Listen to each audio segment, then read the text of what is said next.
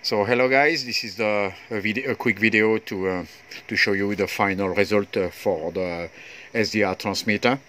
So you will notice according with the previous video I was using uh, a different sound card, which is mostly for testing. Now I am using the Xonar from Asus, the U7 MK2.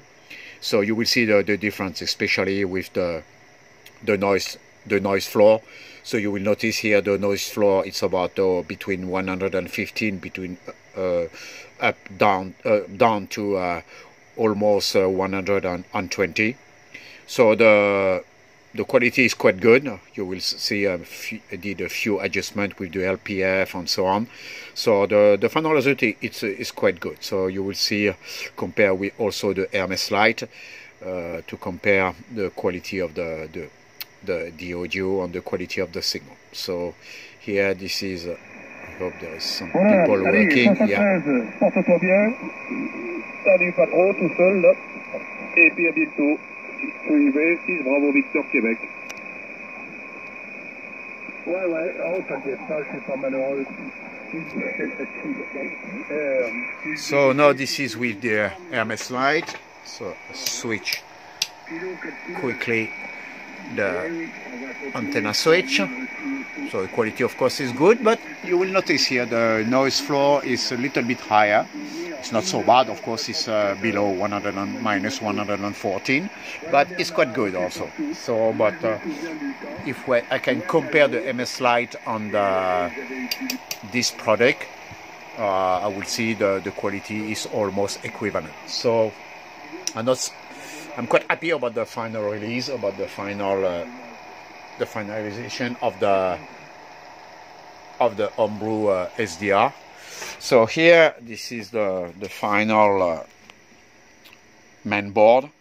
So here you will notice only uh, five chips, so it's quite it's not a lot. In fact, it's quite uh, a little uh, according with uh, the chips I am using. About the transistor, there is uh, five transistor, if I can remember, one, two, three, four, five. There is one transistor for the output power, it's about only 50 milliwatt. Here, this is uh, the transistor for the uh, preamplifier. Uh, there is some attenuator also present in the in my blog. So the different chips according with the TX or RX. There are some chips also uh, that are using uh, commonly. Here this is a chips mostly to uh, to switch the external LPF.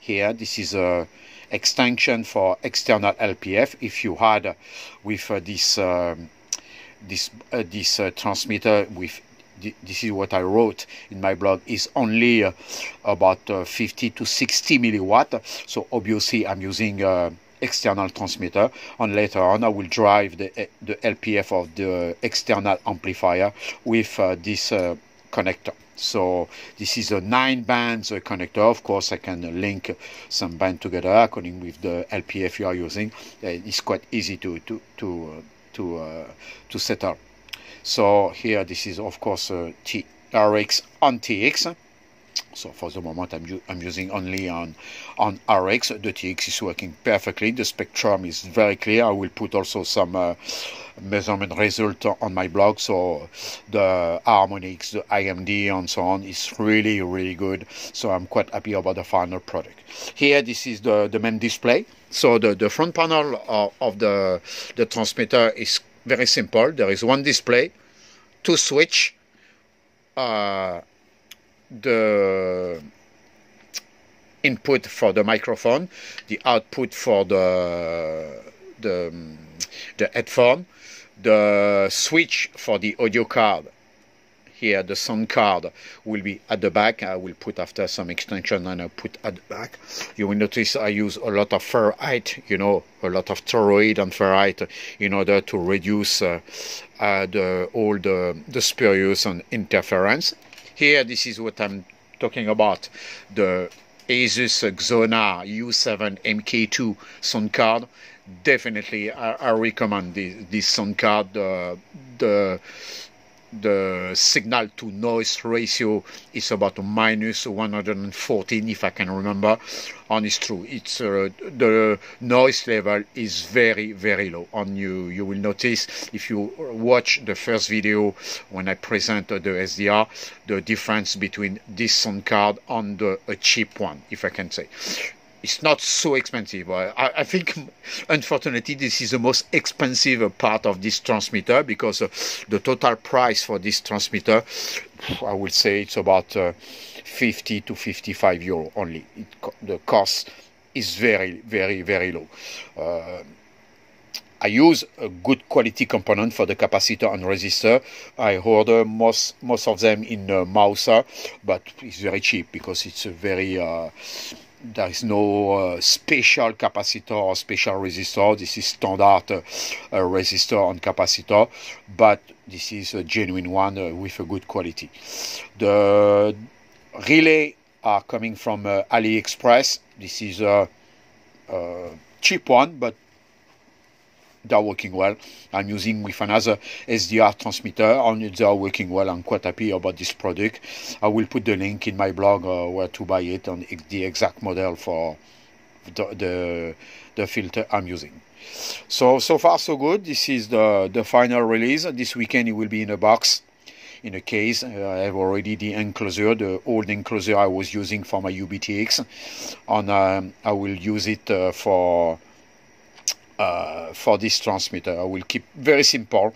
The front panel will be very simple. There is uh, because everything is controlled by uh, power SDR, and I don't need, uh, of course, uh, the, to have so many switches and on control in the in the front panel. there is also in the front panel here the encoder.